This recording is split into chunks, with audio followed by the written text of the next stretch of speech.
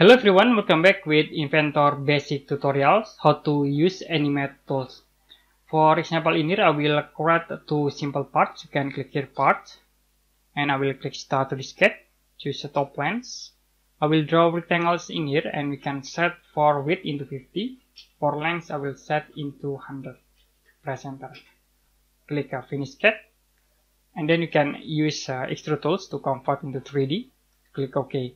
Now I will save uh, this part. Click here save. I will set into part 1 animate. Click save. The next you can close and we create new part again. Click start to sketch and I will use a rectangles in here. I will set into 20 and 20 for measurement. Click finish sketch and use extrude tools to convert into 3D we can save into part 2 animate click save now you can close. Go to assembly tools. You can click here assembly. So we can combine between uh, those two objects. You can click here plus uh, icon. I will insert for the first objects. Okay you can insert in it part 1 click in here. You also can uh, change into front view okay I will change into uh, top view. Sorry. For top view. The next we insert again the other objects. Okay, for part 2 click open then I will click at this point. Now I will move this object with the joint tools from this point. You can move into this point. Click OK. Here I will delete for rig 1 and to use animate uh, in uh, Inventor, we need to use a constraint tools. So in here I will use a constraint and then I will use flush option in here. Okay, we can click start from this point and click again in here. It will automatically move. The next you can click OK to apply.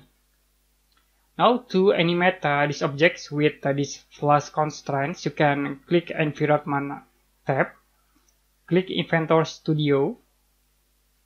The next click animation timeline. So it will be show animation timeline dialog box. You also can change for animate seconds. In here I will set into 5 seconds. And for speed we can set into default 20, 60 and 20. Click OK. So animate timeline will be changed into 5 seconds. To animate, you can click at uh, this icon. So right click in flush and then click animate constraint. Okay, for start, I will set into 0 to 50 millimeter. The next, we can use a specify start for uh, 0 and then end into 5 seconds. You can click OK. So the object will be moved into these directions. If you want to change, you can click at these icons. Right click in here. The next you can click edit.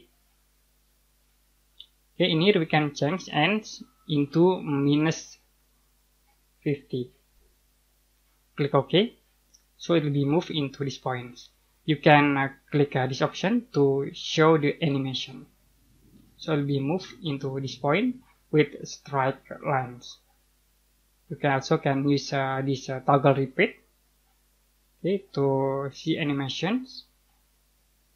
After 5 seconds it will be back again into 0 you can see can stop. Okay that's it for a basic animation in Inventor. And if you have any question about this tutorial you can comment below this video